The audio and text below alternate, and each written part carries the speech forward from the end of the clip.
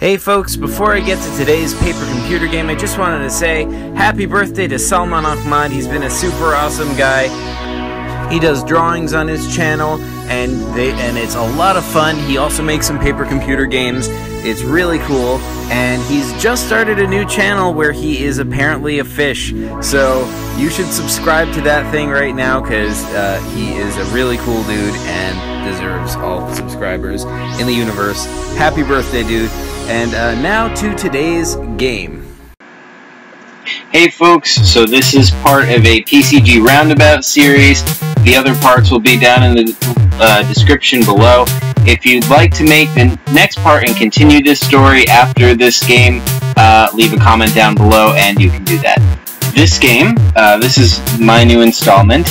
It is in, uh, it, it follows immediately after Salman Ahmad's last game in this roundabout uh, which is called Revenge of the Fat Guy. I call this one Escape of the Fat Guy. It follows immediately after that game, and, and as you will all recall, at the end of that game, the, uh, the fat guy ate so much that he just had exploded. So here he is, having just exploded. We're in the same kitchen, uh, the uh, but you know from a slightly different angle. And uh, here is, you know, it's all gory, just gore, like meat everywhere. And you are here. You are kind of emerging from the meat. Uh, you being the player, and the player today is TutorialBot. How's it going, buddy? I am well, thank you. So, uh, what do you do?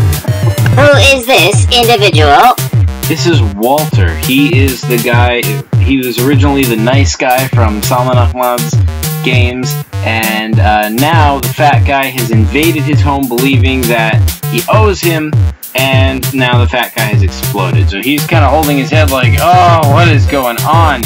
And yeah, so uh, what do you do? It seems logical to escape this place at this time.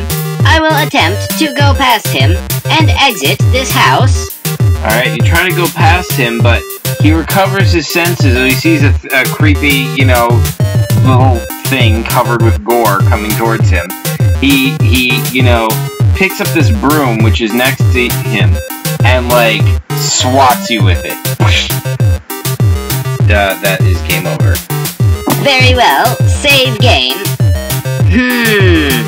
I will attempt to get the frying pan atop the stove yeah, you can't really get up there. You're kind of like really short and like weak. Like you just kind of, you know, emerged into existence, and you, you just can't like make it up there. You're like you're kind of slow and you're kind of weak.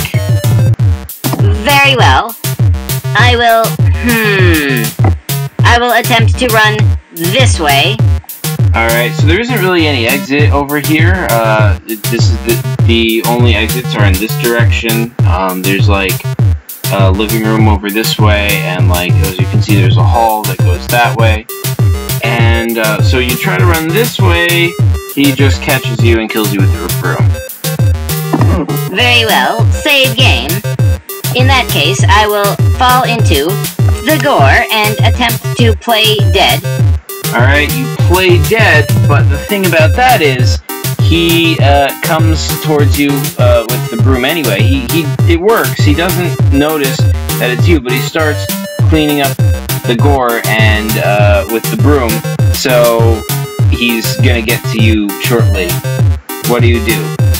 I will wait until he is looking at another piece of gore, and then I will attempt to slowly and quietly move further out of his reach. Alright, that works.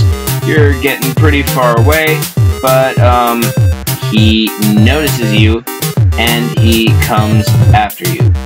Uh, and he kills you. Very well, save game.